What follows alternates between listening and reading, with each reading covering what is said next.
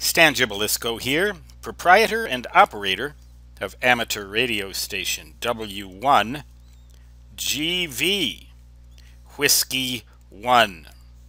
Good vibrations located to the black holes of Dakota Territory, United States of Advertising, which is Zero Land.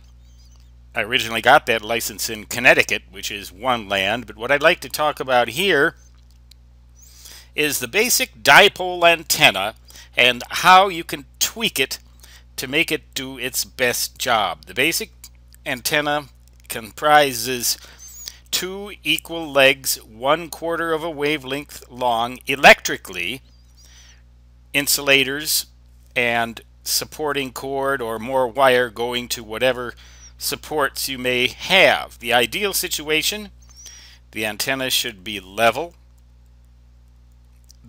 the, earth under it should be level, and the height above the ground should be at least a quarter of a wavelength, and preferably more than that. Here's your surface. A balun coil is an important part of any good dipole antenna. 52 ohm coaxial cable, the lowest loss type you can get the shortest length of feed line you can get. It's a good idea to run that thing at least a quarter of a wavelength so that it's 90 degrees away from the axis of the antenna. And then you can just hook that thing right into your ham radio. You don't need a transmatch or anything like that.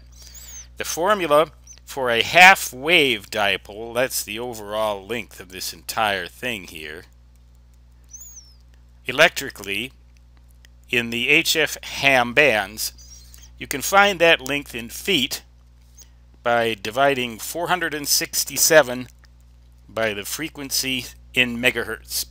so at 7 megahertz, that's somewhere on the order of 66 feet or 67 feet, something like that.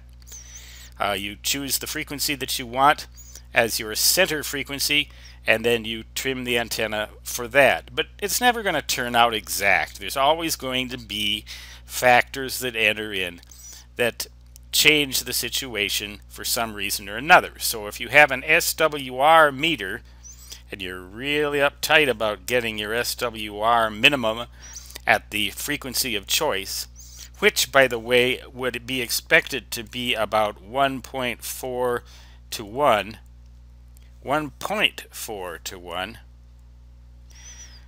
because this is a 73 ohm impedance right here, purely resistive, 52 ohm coax. We can go ahead and divide and let's find out. 73 ohms divided by 52 ohms. You'd expect it to be about 1.4, not 1 to 1. Uh, if you are neurotic about it being 1 to 1, you're kind of out of luck unless you want to run these elements down into a configuration called an inverted V.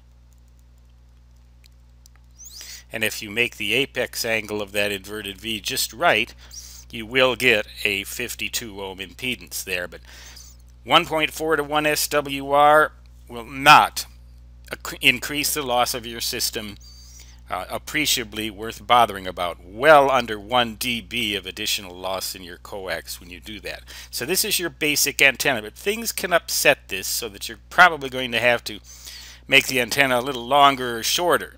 So I'd start out with a length just a little bit longer than this and then trim it until you get the length that you want. It depends on the type of earth underneath your antenna. That's one factor that affects your tweak. Another factor is whether or not the ground is level. If the ground is not level, then one side of the antenna is going to be closer to the ground than the other, and that's not only going to change the characteristic um, or change the impedance at the feed point, but it's going to upset the balance of the antenna. And that's not such a good thing. You want to try and avoid that if you can. You might actually do better to slope your antenna then so it's parallel to the surface in its vicinity. Other things, buildings nearby, obstructions, things that affect one side of the antenna more than the other, or even the whole antenna can change the SWR at your feed point, but not by much. You want to get that thing up in the clear, You want to make it out of good, strong, preferably stranded wire, not solid, but stranded copper wire.